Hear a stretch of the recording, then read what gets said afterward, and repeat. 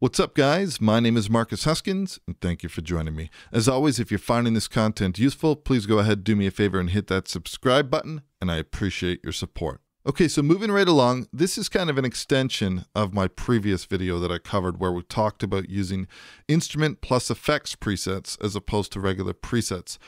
Now I want to take a look at kind of an extension of that, which is using music loops. So for example, we're looking at the exact same file that I used in my previous video.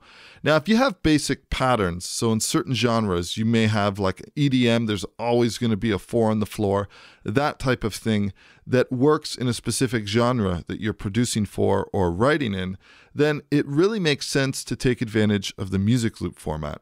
So I have this instrument part that's been created and we've set up our multi-out setup in the actual virtual instrument itself. We've enabled all the multi-outs. I've set up my gain staging. I've set up the multi-outs in EZdrummer's mixer. In addition, we've got some plugins loaded in terms of some processing, and I've also named all of the channels so that they have a custom name. When working with music loops, music loops is a really, really useful format because it stores so much information. So in my browser, I'm just going to click this instrument part. We're going to drag it over and you can see by default, we have a little X next to the music loop. If I hold Alt or Option, we can change that to basic MIDI. But let's use music loop. Now I'm going to let go and it's going to export a music loop. Now, if I select this music loop, right click and show package contents, we can show exactly what's included in this particular file.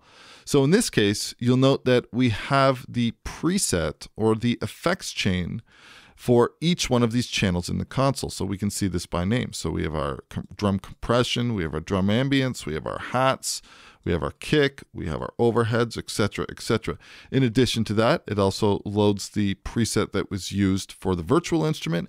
In addition, it creates a FLAC part, which can be used as an audio file preview, Worth noting too that this can just be dragged into your song and you can just use this as straight audio. We also have a part.mid file and a part.music file, which is Studio One's proprietary version of MIDI files. So tons of information that's included. Let's move over. We have another song over here.